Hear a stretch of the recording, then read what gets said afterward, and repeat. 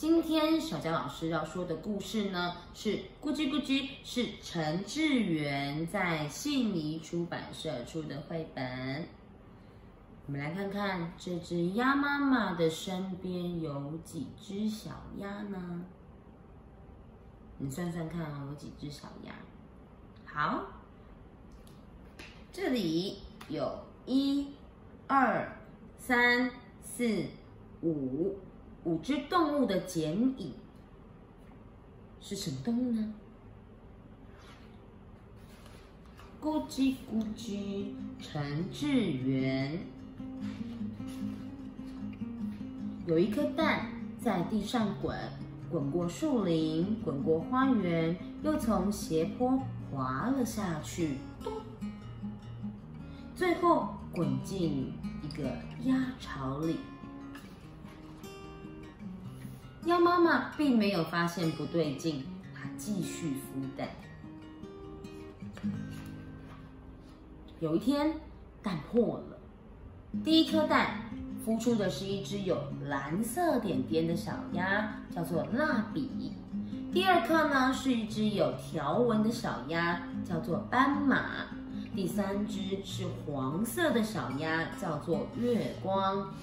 第四颗孵出的却是一只全身蓝绿色的小怪鸭，嘴里呢还不停的讲着咕叽咕叽咕叽的叫声。于是呢，它就叫做咕叽咕叽。鸭妈妈教小鸭们划水、跳水，还有鸭子走路。咕叽咕叽总是学得最快又最好哦，而且它长得比一般的鸭子还要高还要壮。但是不论长得怎么样，鸭妈妈都一样的爱它们。你看，鸭妈妈也是会读故事给它们听哦。他们在睡觉之前，会鸭妈妈会念故事给他们听。但是有一天，湖里面冒出了三只长得很像咕叽咕叽的动物，原来是三只鳄鱼。它咧嘴笑着，笑得全世界的人都知道它们有一嘴的大尖牙。三只鳄鱼张开大嘴说。你看，有一只笨鳄鱼耶，它在学美味的鸭子走路。咕叽咕叽大叫说：“我不是鳄鱼，我是鸭子。”还三只鳄鱼大笑说：“哈哈，你看，你看，你看看你自己，你没有羽毛，你也没有扁扁的嘴巴，也没有大大的脚。”你只有蓝绿色的皮肤、尖尖的大爪子，还有尖锐的牙齿，跟一鳄鱼的坏味道，就跟我们一模一样。第一只坏鳄鱼说：“蓝绿色的身体能够让你躲在水里面，慢慢的接近这些鸭子，不被发现。”第二只坏鳄鱼说。而且你尖尖的大爪子可以让你紧紧的抓住肥鸭，不让它逃跑哟。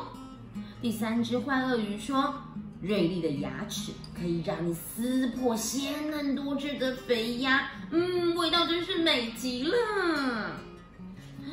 三只鳄鱼奸笑说：“呀呀呀，我们知道你和一群美味可口的肥鸭住在一起。”明天你就把他们带到桥上玩跳水，我们呢就张开大嘴在桥下面等着。咕叽咕叽就问了：“我为什么要听你们的话？”这时候，三只坏鳄鱼跟咕叽咕叽说：“因为我们都是鳄鱼呀，应该要互相帮忙的。”哈哈哈哈哈。难过的咕叽咕叽，这时候独自来到了湖边。他想，我不是鸭子，而是一只坏鳄鱼。咕叽咕叽对着湖面做了一个很凶的表情。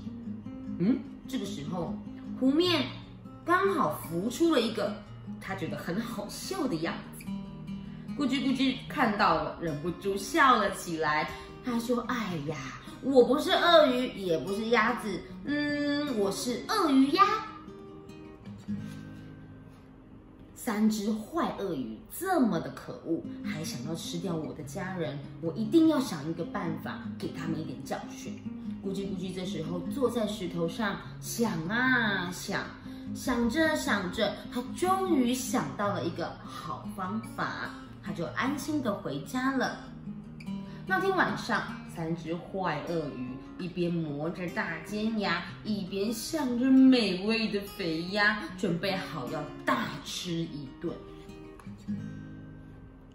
第二天，咕叽咕叽依照三只鳄鱼的指示，带着鸭群来到了桥上，准备玩跳水了。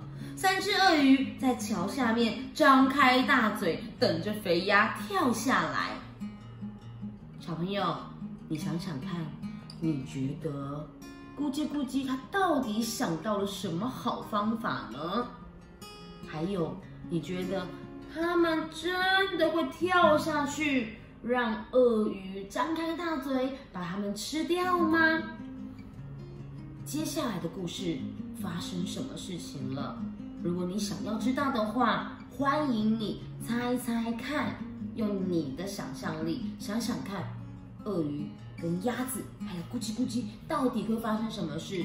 然后呢，你可以留言在下面跟小佳老师分享，或者可以请你的爸爸妈妈带你去书局或者是图书馆去找找看咕叽咕叽的书，看看它到底最后发生什么事了。期待你的留言跟分享哦，我们下次再见，拜拜。